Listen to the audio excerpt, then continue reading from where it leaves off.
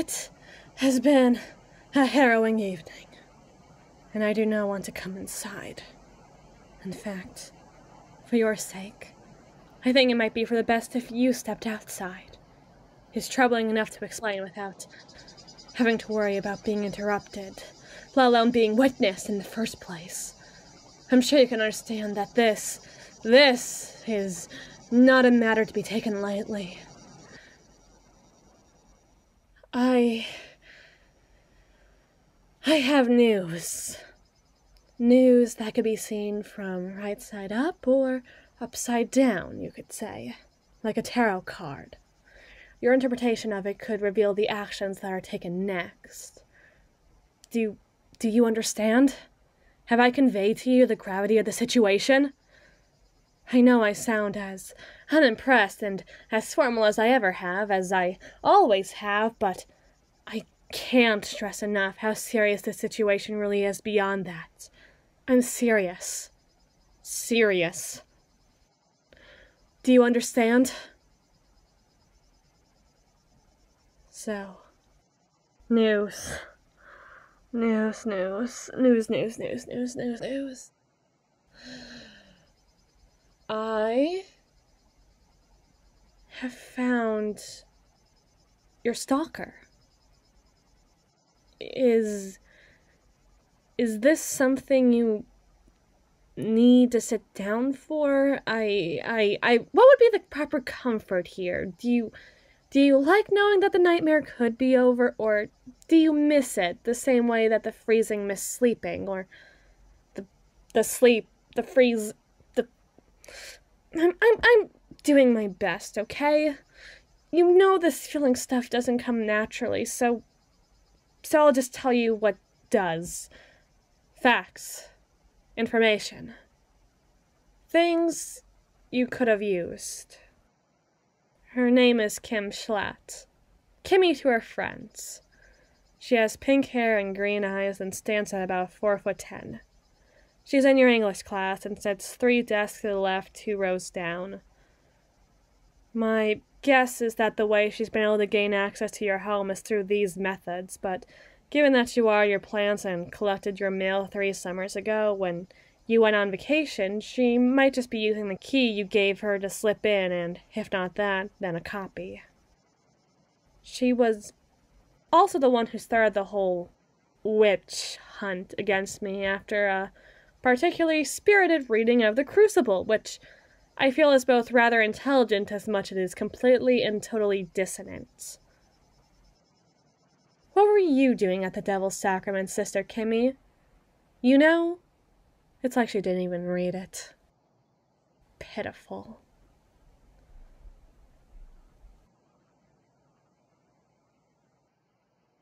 I think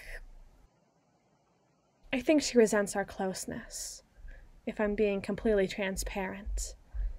It might even track with the fact that she never entered your home while I was inside with you, though whether or not that's simply preventing an unnecessary witness is always possible. Although I feel that. ah. right. You know I wouldn't be telling you all this for no reason.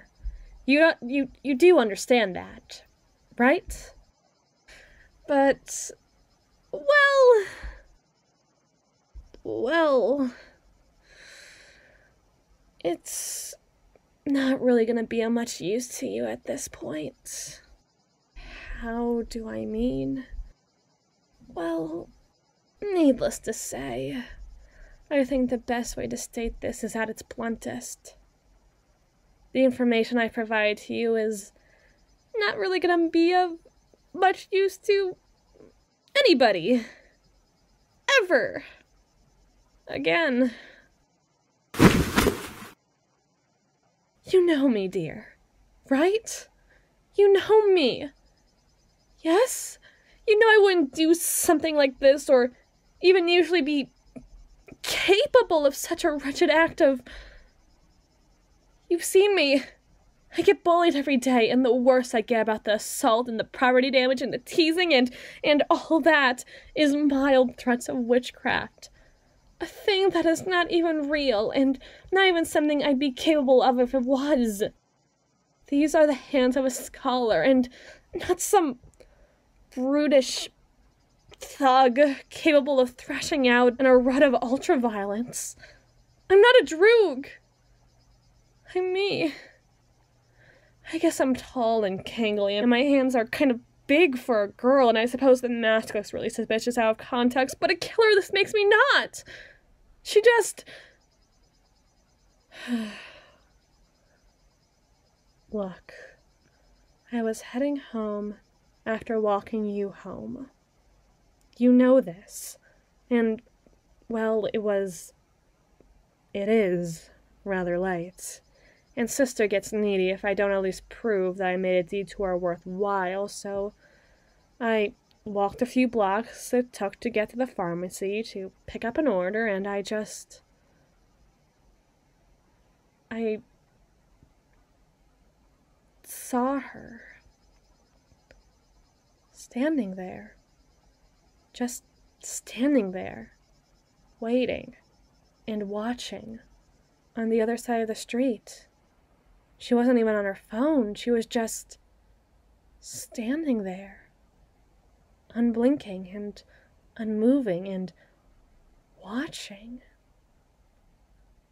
I don't think a force on earth could have moved her from her spot until she willed it, just based on how she stared. I couldn't read anything from her gaze about a single one of her intentions, her feelings. I wish I could say they flowed with a living malice all their own, or maybe an adoration all their own, or something, some kind of feeling, but I cannot lie to you now. Not about this. Dear, dude, whatever endearment suits you best. I cannot stress this to you any more than through the stress I already convey. She scared me. All right? She scared me. The twitchy witchy girl, the twitchy witchy girl who reads about lobotomies and roadkill was scared of her. Now, I know this is a lot to force from you, but please, please, please ask yourself what scares me? Exactly. Now think about this. This. this thing that's capable of scaring me, and think about the fact that it's coming for you. Not that it's just coming for you, but it's already here. It's already made itself known. It made you know that there's nothing left for you of all people to do. If she wasn't already planning her next move, I'd hardly be surprised.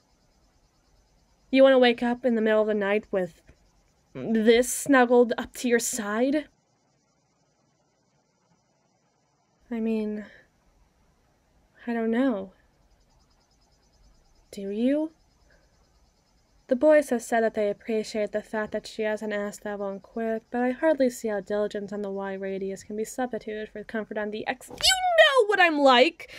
Let me keep my panic in my way, and I'll let you keep your nervous frenzy in yours. I don't even know how it happened. I don't even remember it. Not. not really. Not really. I don't think I even said a word to her before she just lunged at me with such a fervor after she saw me approaching. Her nails might as well have just been pretty pink talons for how they rendered the flesh of my neck. I swear to you on the best authority I can offer that she was looking to dig them in and brutalize me. All over the simple crime of being close to you when she is not. And then my memory. My memory gets fuzzy. It's not mere images upon images in a sequence flashing before my very eyes. hundreds upon hundreds of every second, but color, air, and light. It happened, and I was here. But I was not here, and that frightens me as well. And now I'm here, and now I'm telling you. I'm telling you that the greatest threat in your life was felled by the hands of your closest friend, and I'm asking you to trust me. And for your silence. Even if she swung first, I definitely, definitely went overboard far too overboard for it to be considered all's fair in love and war, and our evidence to prove that she's stalking you is far too non substantive at this point in time to be conclusive. Even if we walked through her front door right now and found her rooms wall to wall in images of you, as long as they were all taken in the public, there's no crime being committed. There might be intent, motive, but no act. It's not illegal to stand on a street corner. It's not illegal to open doors you already have the keys to. But there's no excuse for what I have done. Nobody can know. Nobody can ever know. Unless you're really that interested in being punished for the crime of being a victim of circumstance like this, when you were paid attention you were never asked for, and given a love you could never reciprocate.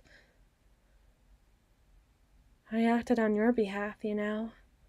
And if this is how she reacts when approached by a mere acquaintance, then you can only imagine what she'd do if you were crazy enough to reject her. Nobody can ever, ever know about this. This is a secret we have to live and die by, a secret that'll bond us until the end of our lives a bond forged in blood spilled by the hands of one in the name of another. It almost makes you out to be a handmaiden, and I, the one who kneels at your side. It's a nice thought.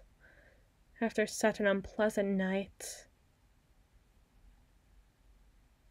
Listen, I'm I'm not going to ask you to do any of the dirty work here. I have two feet on her and I can manage a proper burial so long as we keep it six feet on the vertical to avoid satellite detection. But I am going to need you to stop by the botanical gardens near my house. You're familiar with it, yes? I'm going to need you to pick up Solidago shortii. It's Short's goldenrod, but the night worker will recognize this as an order from me if you list off its taxonomic name and he'll need to recognize this as an order from me if you're going to get it, given how endangered it is. Dear, if I'm burying a body, and I am burying the body, I could never ask you to sink so much into a petty scheme of mine. We need to keep it from being dug up. I'll keep the investigation off of us by digging the hole six feet vertically rather than the usual horizontal, but that only helps eliminate suspicion.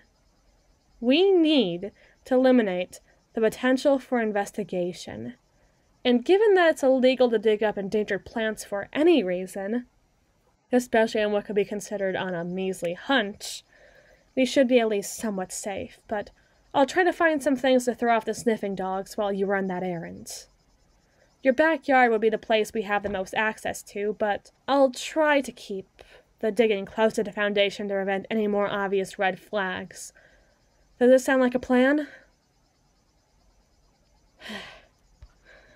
I know. I'm sorry I pulled you out here for this of all things. But I just can't imagine doing this alone. I wish we were under better circumstances, but I'm really glad you're here. I don't think I could be any happier if you weren't.